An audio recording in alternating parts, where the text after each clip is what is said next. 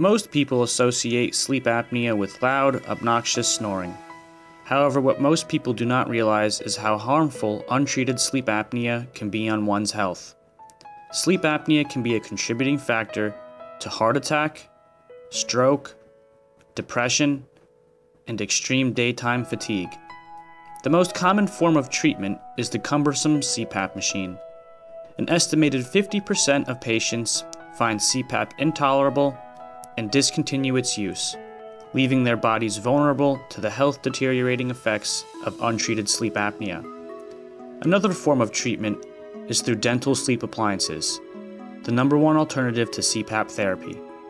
Sleep appliances in recent years have become so effective that they are now considered a first line treatment for most mild to moderate cases of sleep apnea, and have even shown success with very severe cases.